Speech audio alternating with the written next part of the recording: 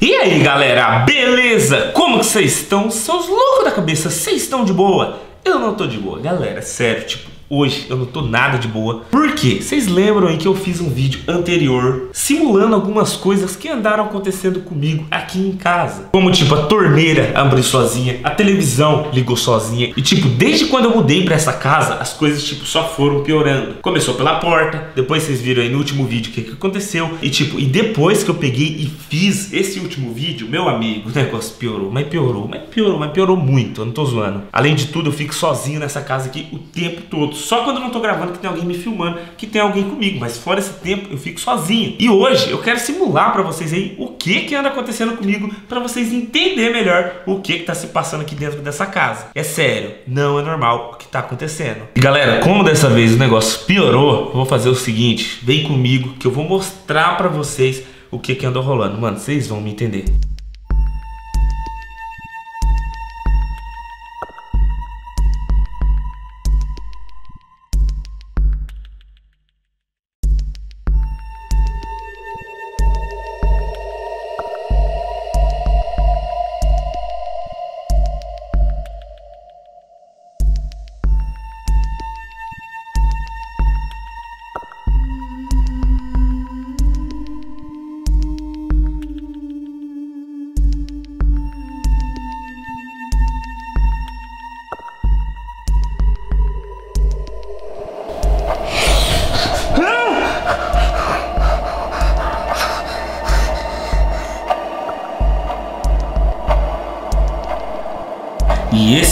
Só o começo. É, a Samara que eu coloquei aí é até que bonitinha, mas é sério, o ser estranho que eu vi aqui dentro de casa não era nada bonitinho. Tipo, na verdade não era nem feio nem bonito, porque não dava para identificar. Era um negócio assim bem fora do comum, bem fora do comum mesmo. E tipo, o negócio não parou por aí não, mano. Teve mais, se liga. Não é nada fácil você começar a ver essas coisas dentro da sua casa. Eu mesmo nunca pensei que ia passar por uma coisa dessas.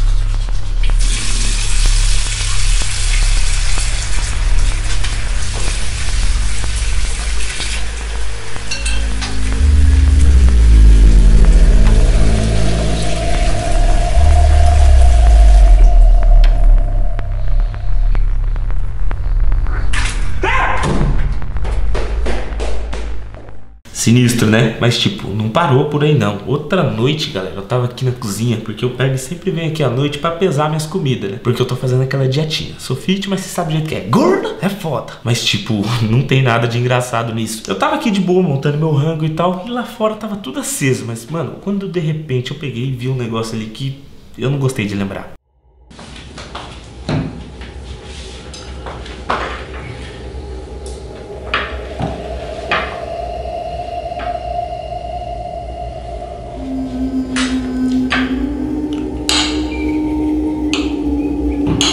Ô Jack! Ô! Fica de boa aí, rapaz.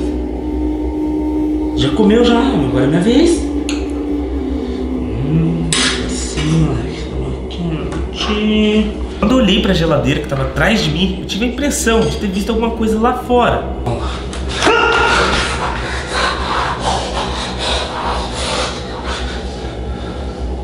Poxa, como foi essa, velho? Que merda foi essa?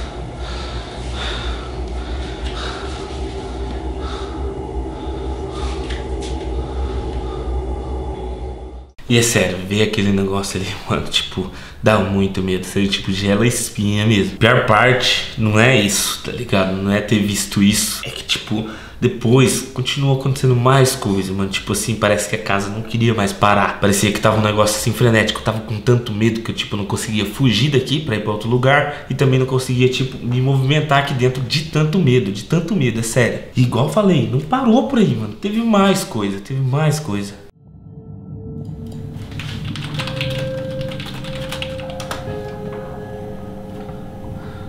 Teve uma noite que foi foda mesmo. Essa eu pirei.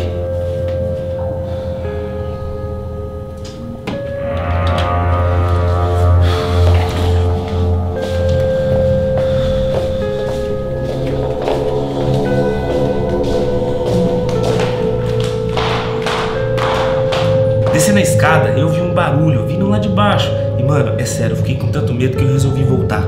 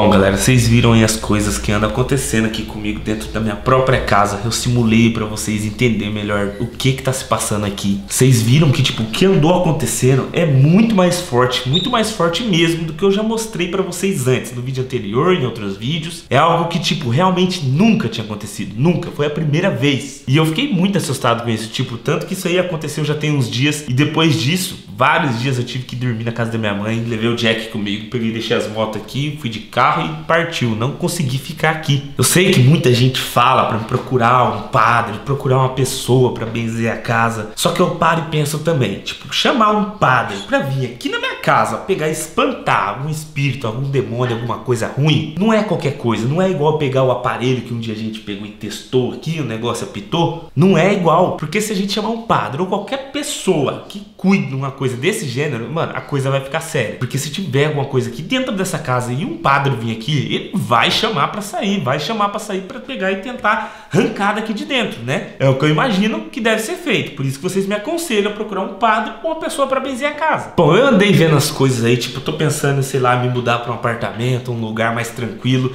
e de repente esses vídeos que eu faço na piscina, porque a casa em si é muito por causa da piscina. E tipo, eu já andei pensando em me mudar daqui e ir para um apartamento, né? Porque um apartamento é mais tranquilo. Eu tô aqui nessa casa por causa que eu faço muito vídeo ali na piscina eu preciso da garagem, tá ligado? Porque a gente é motovlog. E eu também faço muito vlog na piscina. Mas se continuar desse jeito, não vai ter jeito. Eu vou ter que me mudar daqui, vou ter que pegar para um apartamento. E tipo, não sei, não sei o que, que vocês acham. Quero que vocês comentem aqui abaixo no vídeo, porque eu vou estar tá lendo todos os comentários. É sério, eu vou estar tá de olho nos comentários, então comenta aí o que, que vocês acham. Lembrando que esse vídeo aqui foi uma simulação que eu mostrei para vocês de tudo que tá acontecendo, beleza? Se você gostou, vamos deixar o like para ajudar, porque foi muito difícil gravar isso para vocês. Então vamos colocar uma meta aqui de 200 mil likes nesse vídeo. E lembrando, se você ainda não foi inscrito no canal, não esquece de se inscrever, porque todo dia sai vídeo novo 11 horas da manhã e 5 horas da tarde. Beleza? Bom, vamos indo nessa. Muito obrigado todo mundo e até a próxima. É nóis, valeu e fui!